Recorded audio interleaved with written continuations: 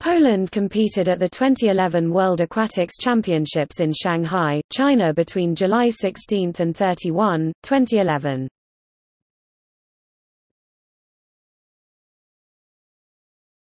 Topic: Medalists.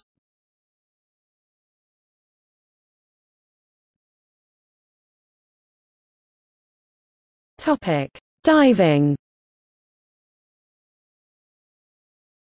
Poland has qualified one athlete in diving. Men Topic: Swimming. Men 9, Paweł Korzeniowski, Sławomir Kuczko, Radoslaw Kawęcki, Konrad Czerniak, Marcin Tarczynski, Mateusz Sawrymowicz, Filip Wypych, Dawid Szulich, Marcin Cieslak Women 3, Otylia Jędrzejczak, Mirela Olczak, Alicja Tchórz. Men asterisk raced in heats only women